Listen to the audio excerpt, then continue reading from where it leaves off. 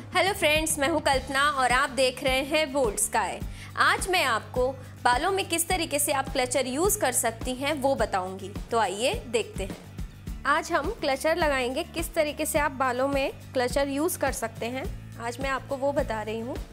आप सबसे पहले सारे बालों को इकट्ठा कर लेंगे।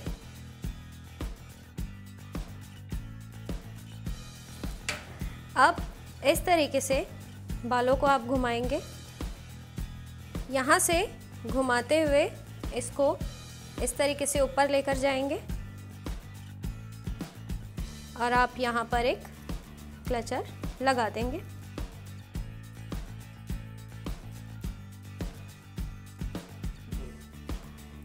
इस तरीके से आप क्लचर लगा सकते हैं। अब हम दूसरे तरीके से बताएँगे आपको कैसे आप क्लचर लगाएँगे।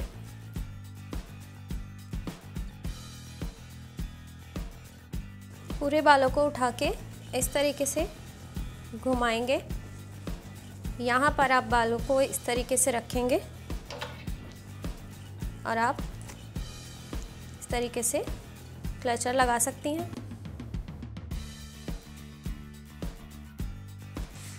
अब हम सारे बालों को उठाएँगे, इस तरीके से घुमाएँगे और यहाँ पर क्लचर लगा देंगे। नीचे के बालों को इस तरीके से कॉम करेंगे। आप चाहें तो इन बालों को ऐसे भी छोड़ सकती हैं।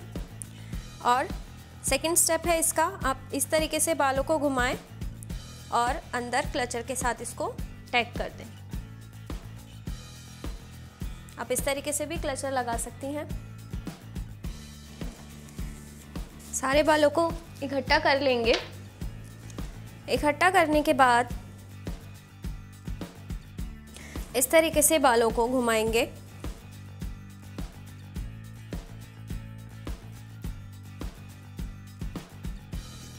यहाँ पर इसको क्लचर के साथ टैग कर देंगे।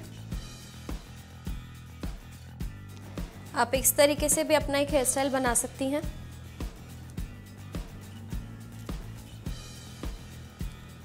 आप इस तरीके से बालों को ले लेंगे। लेने के बाद आप इस तरीके से बालों को घुमाएँगे। यहाँ तक आपने इस तरीके से फोल्ड किया है। अब यहाँ से बालों को आप इस तरीके से फोल्ड करके यहाँ पे बैक साइड पे ऐसे रखेंगे। और यहाँ पर इसको ऐसे टैग कर देंगे। और इस तरीके से आप इसमें क्लचर लगा देंगे। आप इस तरीके से भी अपने बालों में क्लचर लगा सकती हैं। आप चाहें तो ये बालों को आप इस तरीके से फोल्ड करें। इसको इस तरीके से छुपा भी सकते हैं क्लचर को। आप यहाँ पे आप अपना कोई दूसरा पिन भी यूज़ कर सकती हैं। आज मैंने आपको आप किस तरीके से बालों में क्लचर यूज़ कर सकती हैं वो बताया। आई होप ये वीडियो आपको पसंद आया होगा। आप मुझसे कुछ जानना चाहते हैं तो हमारे कमेंट बॉक्स में कमेंट करें और चैनल को सब्सक्राइब करना ना भूलें।